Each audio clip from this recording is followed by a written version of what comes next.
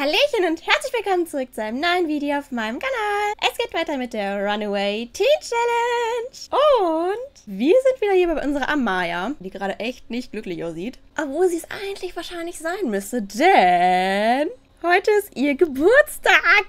Sie wird endlich zur jungen Erwachsenen. Es hat auch lange gedauert jetzt. Ich bin so aufgeregt. Heute ist auch Rabatttag übrigens. Weiß ich nicht, was wir damit anstellen sollen, aber we will see. Was ich aber eigentlich machen wollte, ist eine Geburtstagsparty planen. Ja, wir laden natürlich die ganze Family ein und ein paar Freunde, ne? Ich fände es eigentlich cool, wenn wir irgendwie in den Nachtclub gehen. Einfach, weil sie ja auch so eine Partymaus ist und so. Ich weiß, es ist vielleicht dann nicht so unbedingt schlau, dass man da seine Tochter einlädt, aber die kann ja sonst zur Not frühzeitig nach Hause gehen oder so. Wir gehen um 18 Uhr dann schon. Sie muss sich aber wahrscheinlich ihren Kuchen dann selber machen. Aber es wird sie überleben. Das ist mir gerade ziemlich egal, Mr. Sensenmann. Das mache ich nämlich privat. Ja, und gerade sind wir hier nicht privat. Ach, sie kann gar nicht am Rabatttag teilnehmen. Dann ist es auch eigentlich egal, ob wir was kaufen oder nicht. An dem Tag, wo ich das hier aufnehme, baue ich übrigens auch die Doppelhaushälfte für unser Girl im Livestream. Ich weiß nicht, wieso ich das jetzt hier erwähne, weil äh, wenn ihr diesen Part seht, dann war der Livestream schon. Keine Ahnung, ob wir fertig werden. We will see. Aber das heißt, dass wir jetzt irgendwann demnächst dann mal umziehen könnten. Aber ich will es jetzt auch nicht so instant machen, weil das irgendwie auch unrealistisch ist. Ja, dann mach doch vielleicht schon mal einen Kuchen. Blaues Konfettikuchen, das sieht doch gut aus. Warum? Warum seid ihr immer böse zueinander? Ich finde das nicht in Ordnung, Leute. Ihr sollt euch verstehen. Kannst du vielleicht den Kuchen fortsetzen? Perfekt. Ach süß, sie spielt erstmal selbst an der Gitarre. Finde ich super toll. Ey, vielleicht können wir dann nachher unser cooles Outfit anziehen, was wir mal gekauft haben, wenn ich dann endlich mal dran denke. Ist ja immer so eine Sache bei mir. Sie wünscht sich auch ein höheres Level der Fitnessfähigkeit zu erreichen, deswegen darf sie doch gerne mal ein bisschen energiegeladen joggen gehen. Ich glaube, sie würde ihren Geburtstag sehr entspannt angehen und halt eben das tun, was sie mag. Und das ist halt unter anderem Sport, ne? Big Sister is watching you. Es ist nicht einfach, gute Noten zu erhalten und Celeste fühlt sich unter Druck und es ist auch nicht gerade förderlich, dass ein Mädchen, das neben ihr sitzt, mit ihren hübschen, unschuldigen Augen zu ihr rüberstarrt. Will das Mädchen von ihr abschreiben oder will es einfach nur freundlich sein? Was nun? Wir setzen uns vielleicht einfach woanders hin. Celeste nimmt ganz hinten Platz, wohin sich das Mädchen niemals setzen würde. Zu weit weg von der Tafel. Jetzt wollen all die coolen Kinder, die hinten sitzen, von Celeste abschreiben. Hm, das ist natürlich doof. Aber da muss man halt dann auch mal durch, ne? Es fängt an zu regnen. Ach Mann, Erstmal eine Instagram-Story machen, wie es sich gehört. Birthday Girl! 132.000 Follower. Läuft bei ihr. Jetzt möchte sie noch boxen gehen von sich aus. Warum eigentlich nicht? Rechnungen! Gemein. Wir haben auch noch Post bekommen. Warum das? Das kenne ich so gar nicht. Ach, Newsletter der Ambrosia-Gesellschaft. Meinetwegen lies es halt kurz. Oh, ich habe schon eine Belohnung freigeschaltet. Cool. Nice, ich kann die neue Hose kriegen. Ja. Yeah. Ist das dumm. Sie ist gerade so sauer, ne? I don't get it. Über Gefühle bloggen. Da sehe ich sie. Ich tue den Kuchen jetzt mal schon ins Inventar, weil ich weiß genau, dass ich ihn sonst vergessen werde. Nee, du lädst jetzt keine Freunde ein, Girl. Es ist heute der Geburtstag von deiner Mutter. Die möchte Zeit mit dir verbringen. Ein Schulprojekt gibt's auch noch. Bleibt wohl nicht aus, ne? Stellen wir wieder in den Garten. Sondern geh mal zu deiner Mom. Warum könnt ihr nicht kuscheln? Sie, weil sie noch Teenager ist? Und wie können sie über positive Beziehungsdynamiken aufklären? Da sehe ich sie. Sie lachen auf jeden Fall zusammen. Also es ist doch schön. Könnte es bedeuten, dass Celeste tiefgründige Gedanken mag? Warum eigentlich nicht? Sie mag keine Karotten. Es tut mir sehr leid für dich. Jetzt könnt ihr ja nochmal gemeinsam irgendwie was von der Pizza von gestern nehmen. Möchtest du dich nicht dafür hinsetzen eigentlich? Ich würde sagen, wir gehen am besten schon hin, oder? Amaya muss sich noch frei nehmen. Aber das wird schon. Nee, Elaine. Nee. Urlaubstag nehmen. Sie hat sich, glaube ich, gefühlt noch nie Urlaub genommen. Sie hat sieben Urlaubstage. Also, da kann sie ja wohl mal sagen, hi, ich habe Geburtstag, ich möchte bitte, ne? Geht nicht. Ich war gerade in der Gegend und als ich an deinem Zuhause vorbeiging, habe ich gespürt, wie deine Liebe mich wie ein starker Magnetanzug. Also muss ich einfach vorbeikommen, um Hallo zu sagen. So mauselig. Das heißt, er ist auch schon verfrüht, er wusste wahrscheinlich schon, dass sie auf dem Weg sind. Das sind so welche süßen Mäuse, ne? Ich lieb's ja einfach. Sind beide sehr zufrieden. Los geht's. So, Amaya, aber du ziehst jetzt ein cooles Outfit an. Ja, diesmal habe ich dran gedacht. Ich coole. I mean, look at you. So kann man schon mal Geburtstag feiern. Sie hat ja auch äh, genug, was sie zeigen kann, die Gute, ne? Hier sind auch Tische, aber die müssen wir erst freiräumen. Sonst wird das hier nichts mit unserem Kuchen. Spiele spielen lassen? Was wollten ihr für Spiel? Oh, ich sehe schon. Aber da sind nur zwei Plätze. Ist auch eigentlich egal. Gruppenmahlzeit zubereiten. Ja, was denkst du, wo wir hier sind? Das ist ein Nachtclub. Warum kann sie nur zuschauen und nicht dansen? Hier, geh dansen. Wow! Süß.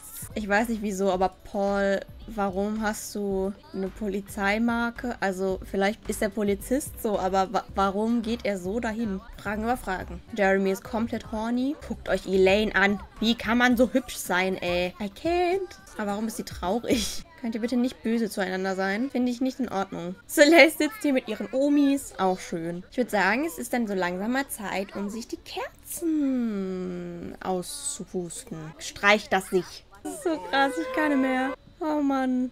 Und alle feiern auch mit, das ist so süß. Mizuki sieht so aus, als hätte sie gar keinen Bock. Aber passiert, ne? Ich kann nicht.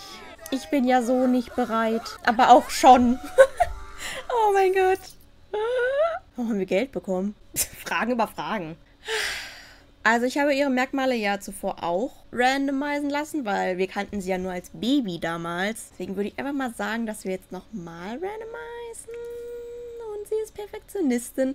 Und ich finde, das passt extrem gut zu ihr. Deswegen würde ich da auf jeden Fall dranbleiben. Und ich würde, glaube ich, erstmal bei dem Bodybuilder-Ding bleiben, äh, weil irgendwie was Besseres gibt, glaube ich, erstmal nicht. Also wenn ihr eine bessere Idee habt, was ihr bestreben sein könnte, schreibt es mir gerne.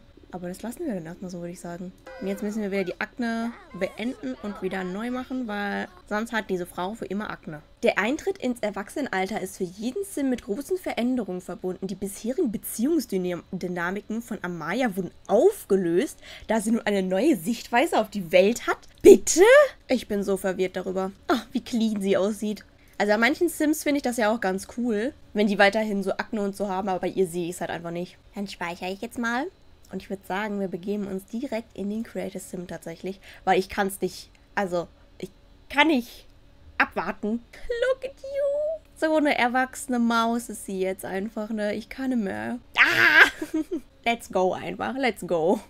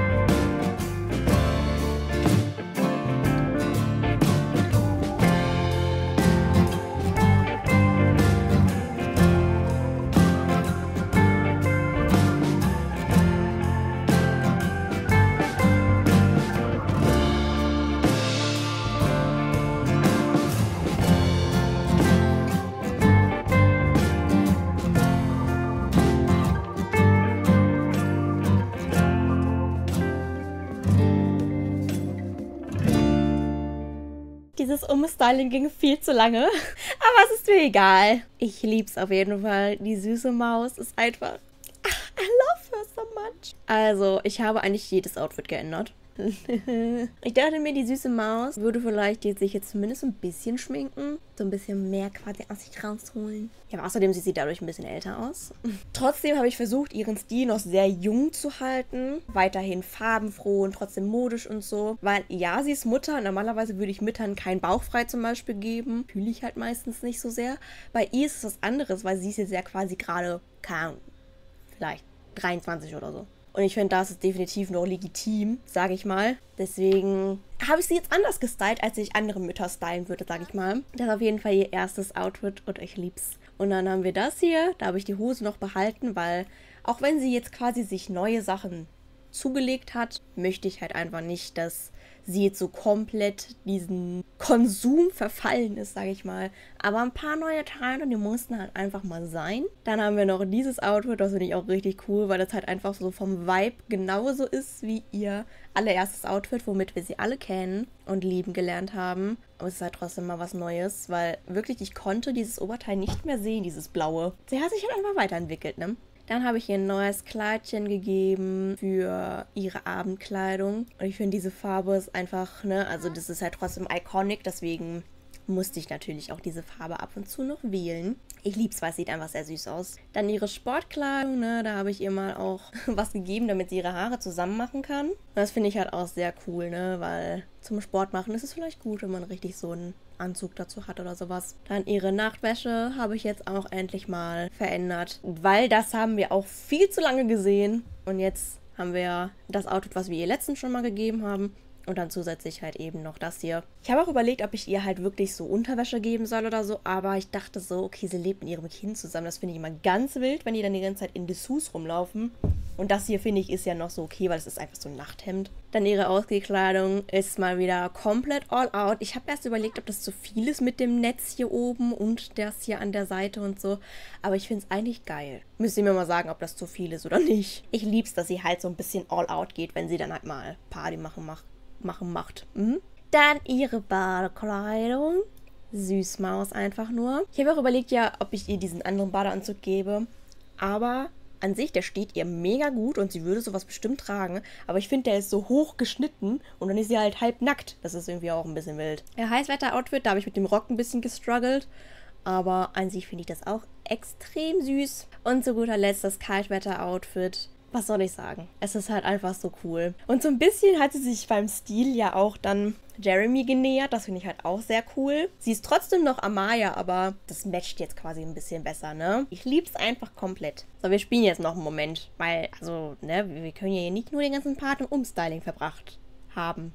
Sie hat sich auch direkt umgezogen. Ihr anderes Outfit, sie so, nee, ich habe doch jetzt was Cooles Neues. Wir können nicht studieren, wir haben keinen Abschluss. So, und sie kann jetzt natürlich erstmal Jeremy ein Ständchen bringen. Das fände ich richtig süß. Sie hat mit Elaine Stimmung erhalten, ja. Sie guckt mir gerade in die Seele. Aber ansonsten ist alles gut. Das Spiel möchte nicht. Aber ich möchte. Ich möchte. Die Leute essen schon fleißig Kuchen. So, das funktioniert dann jetzt auch mal. Schön. Celeste tanzt auch. Ich lieb's. Oh, und jetzt knutschen die sich noch ab. Ich lieb's ja. Es wird noch danced. Ha, ha, hi, hu, hu, ha. Ja, bitte. Ja, komm's ran. Wir nehmen denen mal kein Geld weg, ne? Also, wir kommen schon klar. Aber oh mein Gott, fragt er uns einfach. Er hat wahrscheinlich wirklich nochmal länger überlegt, ob er das dann wirklich möchte und so und ist jetzt wahrscheinlich so, ja, eigentlich ist es genau das, was ich möchte. Und das ist so schön. Gott, wir haben Jeremy hier im Haushalt. Nicht mehr. Oh nein, jetzt werden die schlechte Stimmung haben, weil die dann nichts gekauft haben. Egal. Ihr könnt mir auch gerne mal in die Kommentare schreiben, was Jeremy für einen Job annehmen soll, ne? Ich habe keine Ahnung, wo wir ihn reinstecken sollen. Ja, die Beziehungsdynamik ist wieder gesund. Jawohl. Sag mal, kann sie normal mit Judy reden? Nee, ne? Dafür ist sie noch nicht krass genug. Wir können ja trotzdem mal um ein Selfie bitten. Ja, Gold verdient. Schöne Party. Süß. Sie nimmt sogar was von unserem Kuchen. Süß. Suddenly Besties mit Judith Ward. Nimm dir noch ein Stück Kuchen, wenn wir schon hier sind, ne? Die Maus ist schon richtig müde. Ich kann's verstehen, ne? Das ist ja auch eigentlich nicht so der Ort für Kinder eigentlich. Jeremy sitzt hier hinten ganz alleine. Same. Ich würde sagen, wir begeben uns dann auch mal nach Hause. Es ist 1 Uhr nachts. Boah, das war dann ja quasi das Geburtstagsgeschenk, das er fragt, ob er einziehen kann. Süß. Warum steht der Postbote hier noch? Muss ich mir Gedanken machen. Und er ist natürlich auch müde. Ne? Also, das geht hier nicht. Warum hat sie jetzt das Outfit an zum Schlafen? Das geht nicht. Nee, machen wir nicht. Ach, und die kuscheln auch direkt, ne? Ich liebe euch ja so. Warum hat der ein Bart? Das müssen wir sofort unterbinden. Er trägt keinen Goatee, Mann. Nein. Nein. Ach, ich liebe euch ja so. Er hat eine Angst, verurteilt zu werden. Ach, Mausel, ey. Amaya muss erstmal pinkeln. Und die gute Maus muss unbedingt äh, in die Schule gehen. Das ist ein Problem. Geh flott duschen, weil sonst äh, stinkst du ganz doll. Das wäre nicht gut. Wie viel ist das Grundstück wert? 39.000. Also ich würde dann mal das ganze Haus versuchen, so um die 100.000 kosten zu lassen. Wenn es ein bisschen mehr wäre, wäre es ja auch nicht so schlimm. Da müssen wir halt ein bisschen mehr drauf sparen. Ich denke, das ist fair soweit, oder? Vielleicht kannst du mal ein Frühstück servieren. Einfach mal ein paar Eier und Toast. Seine ganzen Beinhaare wachsen auch. Ich kann nicht mehr. Wer ist das denn da hinten? Genau der. Die, besser gesagt. Hallülülü. Lasst mich in Ruhe mit eurem Haarwachstum. Er hasst Kochen. ist ja auch toll. Na egal. Alles für seine Freundin, oder? Seine Verlobte sogar. Wirklich viele Fähigkeiten hat er jetzt aber nicht unbedingt, ne? Naja kann man ja noch dran arbeiten. Wir müssen natürlich auch damit klarkommen, dass er böse ist, ne? Aber solange er uns als Family nichts antut, ist es alles in Ordnung. Er hat zumindest die Küche nicht abgefackelt. Das ist doch schon mal toll. Elaine ruft an. Was ist los, Mutter? Da kannst du ja mal hier die Blümchen verkaufen gehen. Einfach mal ein bisschen helfen, ne? Sie hat Muskelkater. Ach man, beschwer dich jetzt mal nicht. Kuschelkooperation. Süß. Dass du das Therm Thermostat vielleicht einmal ausstellen. Wir müssen es nicht unbedingt heißer haben. Es ist Sommer. Mit dieser nicht ganz so begeisterten Amaya würde ich aber dann auch den Part beenden. Ich, ich bin so aufgewühlt irgendwie, weil ich kann nicht so ganz glauben, dass diese Frau jetzt erwachsen ist. Wie immer, wenn es irgendwelche Ideen gibt, ne, zu irgendwas Schreibt sie mir gerne in die Kommentare. Denn das Ganze lebt ja auch irgendwie davon, dass auch mal Ideen von außen mit eingebracht werden. Hauptsächlich jetzt zum Beispiel zu Jeremys Beruf. Ich hatte vielleicht schon gedacht, dass man vielleicht sagen könnte, so Freelancer, irgendwas. I don't know. Könnt ihr mal eure Gedanken zu der Option schreiben. Ansonsten sehen wir uns bestimmt beim nächsten Mal. Bis dahin und tschüss!